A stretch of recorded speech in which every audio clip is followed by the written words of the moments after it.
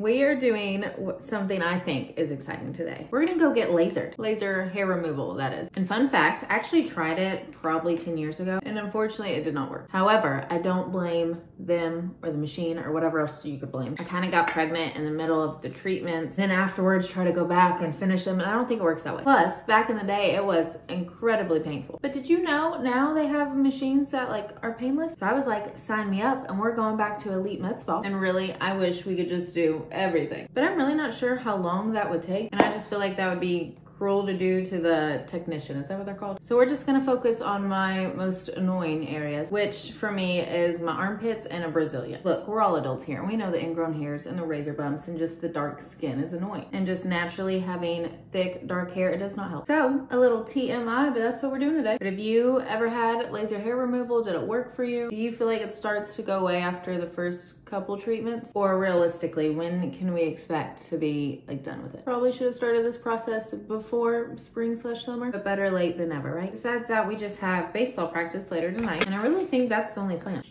Somebody did send me that Tropical Smoothie might be doing like a free smoothie day today. So if they have one in Union, Kentucky, we might end up there. But it's gonna be a great day, and I hope you have a great day too.